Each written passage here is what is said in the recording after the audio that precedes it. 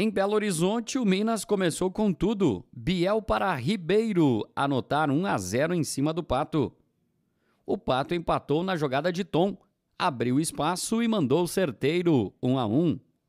Depois, Danilo Barão tentou o passe no corte errado da defesa. Alexandre Pintinho fez Minas 2 a 1. Na sequência, Igo limpou para cima de dois marcadores e bateu. Com desvio de Duduzinho, foi para a rede do Pato 3 a 1. Só dava Minas. Igo roubou a bola de Dudu Machado e encontrou Ribeiro para fazer 4 a 1 Minas. Ainda no primeiro tempo, o goleiro Vini Melo mandou de longe. Renan Seco adiantado não conseguiu salvar. 5 a 1 Minas, resultado do primeiro tempo. Na volta do intervalo, um pato diferente. Após pressão na saída de bola, Duduzinho para Ian e gol de Dudu, 5 a 2. Agora Dudu, esperto, também mandou de longe e surpreendeu Vini Melo, 5 a 3 e pato na reação.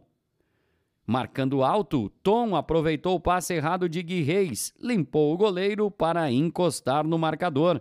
5 a 4. Porém, o Minas teve a chance nesta falta. Guilherme mandou direto, 6 a 4 para os mineiros. Agora a roubada de bola de Tom e passe para Daniel anotar o quinto do Pato, 6 a 5. Não perca a conta.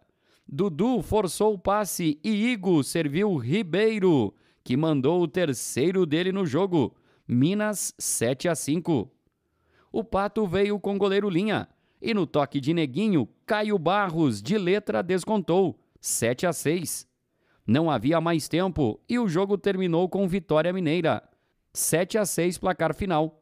O Minas agora em nono na tabela e o Pato em oitavo. Jogo difícil, né? É que é difícil jogar contra o Minas aqui.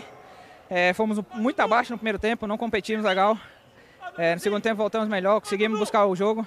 Infelizmente não, não saímos com, com resultado positivo. Mas é a cabeça, temos jogo já quarta-feira contra o Tubarão. É, chegar lá bem e fazer um grande jogo também.